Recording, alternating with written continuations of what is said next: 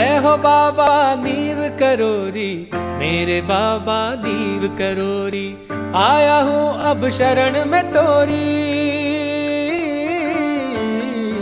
मेरे बाबा, नीव करोरी। नमस्कार, मैं हूँ रमेश भट्ट। आप देख रहे हैं देवभूमि डायलॉग। और आज बात करेंगे देवभूमि डायलॉग में चमत्कारी संत बाबा नीम करौली महाराज को लेकर।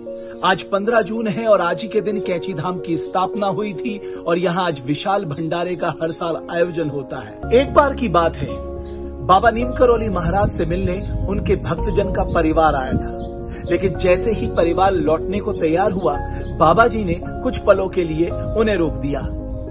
उस समय भारी आंधी तूफ़ान आया था और जैसे ही बाबा जी ने उस परिवार को जाने को कहा, जब वो परिवार आगे के लिए निकला, कुछ देर में एक विशाल काय पेड़ रोड में गिर गया।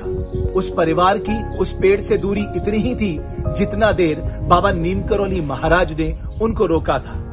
तो आप समझिए, अपने भक्तों की रक्षा के लिए बाबा नीम करोली महाराज ने कैसे कैसे चमत्कार दिखाए। दोस्तों फेसबुक को आज कौन नहीं जानता? लेकिन एक वक्त ऐसा भी था जब फेसबुक डूबने के कगार पे था। इसके संस्थापक मार्क जुगरबर्ग फेसबुक को बेचने के लिए सोच रहे थे।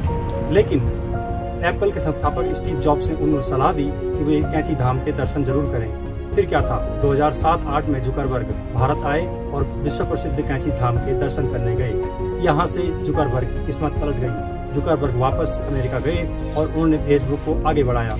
कहने की बात नहीं कि आज बाबा के आशीर्वाद से फेसबुक दुनिया की सबसे बड़ी सोशल नेटवर्किंग साइट्स में से एक है।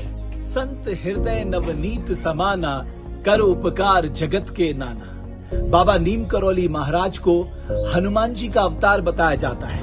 वो हनुमान जी के परम भक्त थे।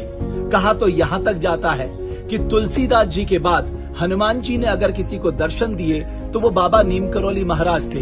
यही कारण था कि उनके चमत्कारों में इतनी शक्ति थी कि वो अपने भक्तों को हर बार मुश्किलों से बचा लेते साल 2015 में प्रधानमंत्री नरेंद्र मोदी जब फेसबुक के हेडक्वार्टर गए तो उन्होंने मार्क जुकरबर्ग से मुलाकात की तो उस दौरान विस्तार से उन्होंने कैंची धाम के महत्व पर भी चर्चाएँ की। जुकरबर्ग ने उनको बताया कि कैंची धाम में आकर उनको एक अद्भुत शांति का एहसास हुआ जिसके बाद उनकी दिशा और दशा दोनों ही बदल गई।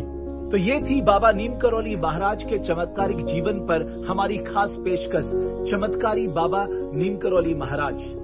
देवभूमि डायलॉग में खास खबरों का सिलसिला लगातार जारी है।